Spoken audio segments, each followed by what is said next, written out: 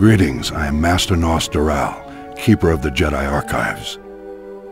The Jedi Council requests I perform a daunting task to revise the Order's historical records in light of new revelations about the formation of the Sith Empire.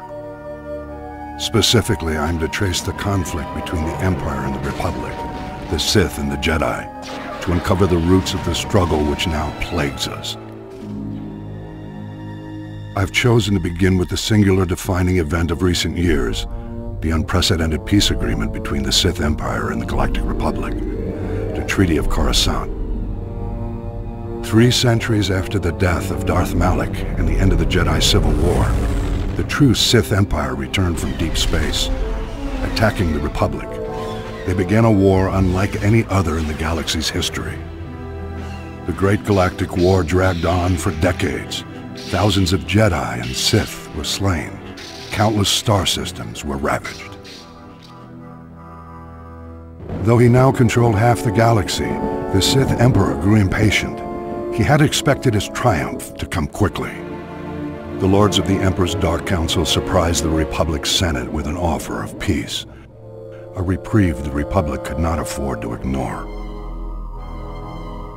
Matters had become complicated for the Republic war effort since the critical trade route between the Outer Rim and the Core Worlds was recovering from a Mandalorian blockade. The Jedi Council urged caution as the Senate considered the Sith offer, but even they had to agree. The war was unwinnable.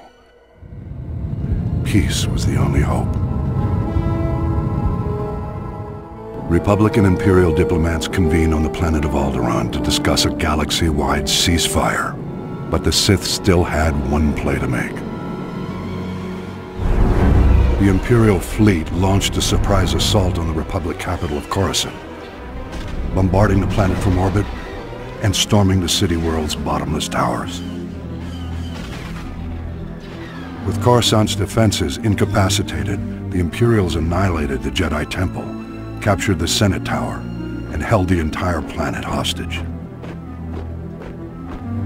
Back on Alderaan, Republic diplomats had no choice.